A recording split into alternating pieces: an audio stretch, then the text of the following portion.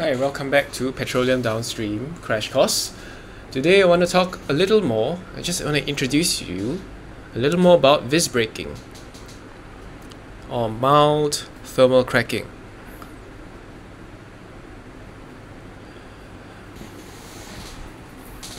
Now, what is thermal cracking and why do we need it? Firstly, we know that when we distill crude oil, distill crude oil,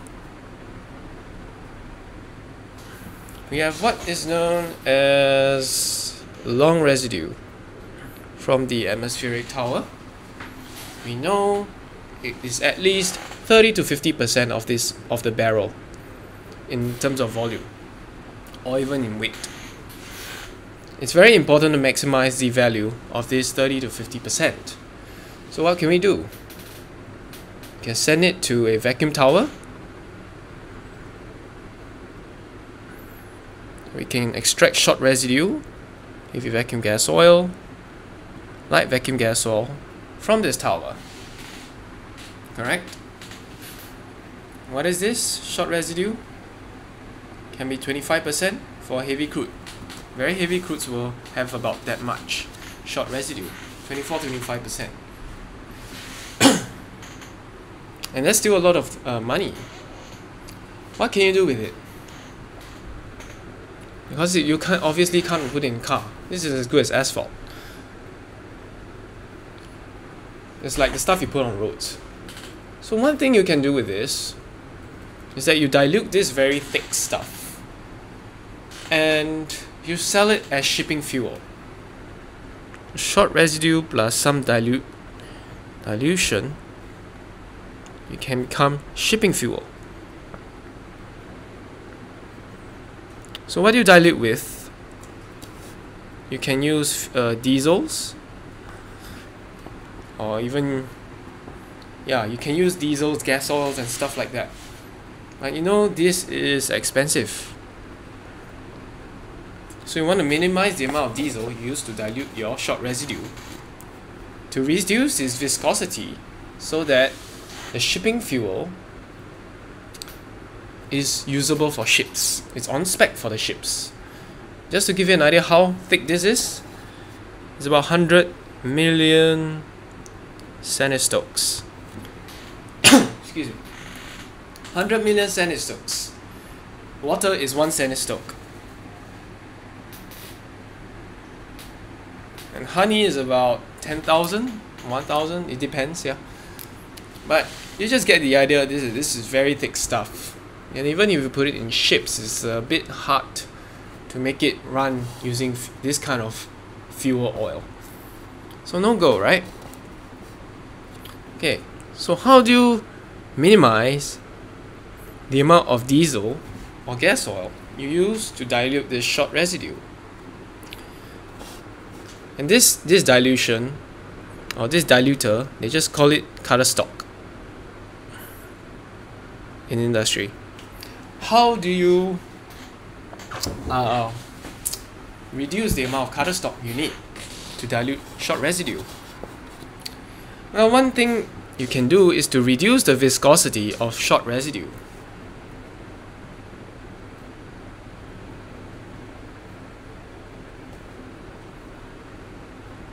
Reduce viscosity as much as possible so that you can use less cutter stock to dilute it to sell as shipping fuel. Because this this is expensive.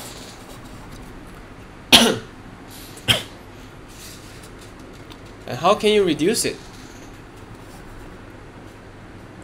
You can send it into what is known as a vis breaker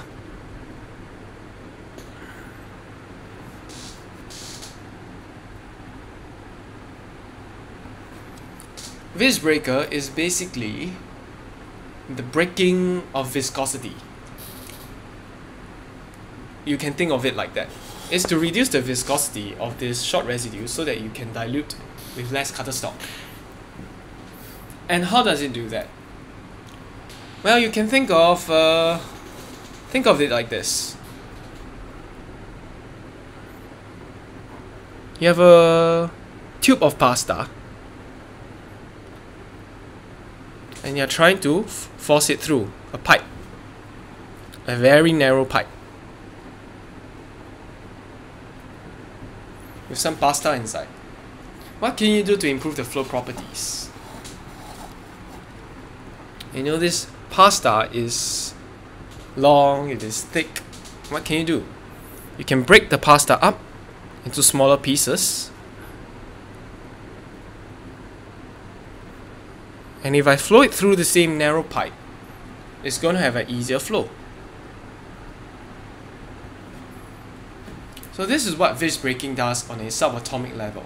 It's breaking down the what do you call it? You can breaking down the hydrocarbon molecules into smaller pieces so that it's easier to flow. And you can think of it like this, like when you chew up food, it's easier to swallow. And likewise, you got to chop it up. You have to chop it up really small and bite size so that it's easier to swallow. It's the same idea here for vis breaking. And what is the process of vis breaking like?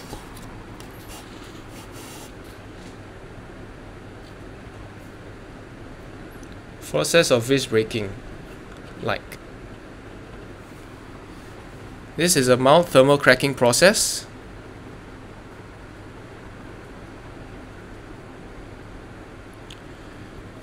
So what is this breaking like? Oh yes, just to clarify what cracking is, cracking is basically taking large molecules and breaking it down to small molecules. That's what I explained just now. So hope there's no confusion. Yep. So cracking, to crack molecules is to break it up and make it smaller. And and how would we do that? I liken it to cooking. So you have some oil here you heat it up and you cook it. To break it down, just like you put raw food, you cook it into something desirable. So you have raw oil, unvis broken, and you heat it up a while, and you have cooked. I quote cooked, so-called cooked oil. And you want it just nice. You don't want to overcook it and you don't want to undercook it. So this is vis broken oil or vis broken residue that's suitable for less cutter stock to be able to blend in. And of course, just like cooking, you can overcook.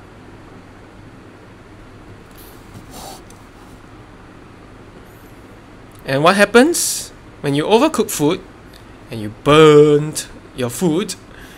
It forms this yucky thing down there. It forms this char. And people usually call this stuff coke. So this is overcooked. In well, in industry, they'll just say this is overcracked.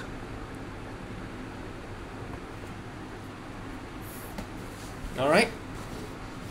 Overcracked food. It's just overcracked food. Overcracked oil is just oil that has gone through too much cracking such that most of a lot of the mass has just become carbon or coke. And how likely is it able to form carbon? If you see your assay, you see this thing called CCR or Conradson carbon residue. So what they do in this Conradson carbon residue test is maybe take 100 grams of oil, they purposely overcook it until like nothing's left. You have some set amount of mass of carbon left in there after you burn your oil too much. And the amount of carbon left that will be a measure of the coke tending form coke uh, forming tendencies of the oil. So that's how they do the Conradson carbon residue test. And this number will be something like the Conradson carbon residue. And that's what they do in your assay. So the higher that number, the more likely it is to form coke. So this is what cracking is about. So in th severe thermal cracking, you have the overcooking process too much, and in mild thermal cracking, you just have a slight cooking of the oil. So that's about it, just about it for the vis breaking concepts. And in the next video, I can tell you more about the actual vis breaking unit. Thanks for watching.